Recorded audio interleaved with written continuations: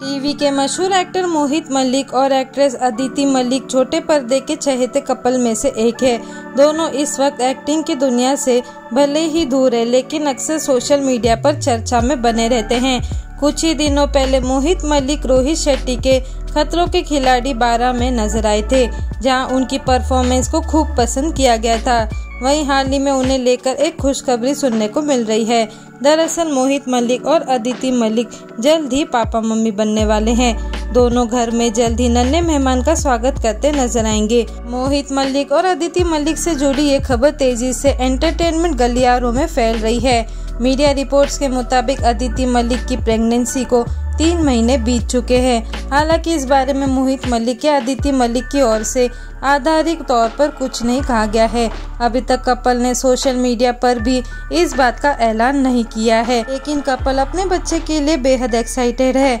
बताया जा रहा है कि मोहित मलिक ने बच्चे के आने की खुशी में अभी से ही वक्त निकालना शुरू कर दिया है। बता दें कि मोहित मलिक और अदिति मलिक साल 2021 में पहली बार मम्मी पापा बने थे। एक्ट्रेस ने बेटे को जन्म दिया था, जिसका नाम उन्होंने एक बीर रखा था। अपने एक इंटरव्यू में मोहित मलिक ने बताया था कि खतरों के खिलाड़ी बारह में शामिल होने का एक कारण उनका बेटा था।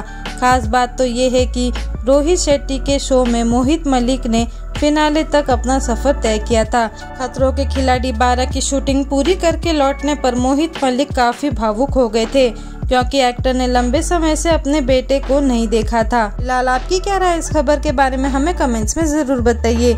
साथ ही अगर आप नए हो तो हमारे चैनल को सब्सक्राइब कीजिए।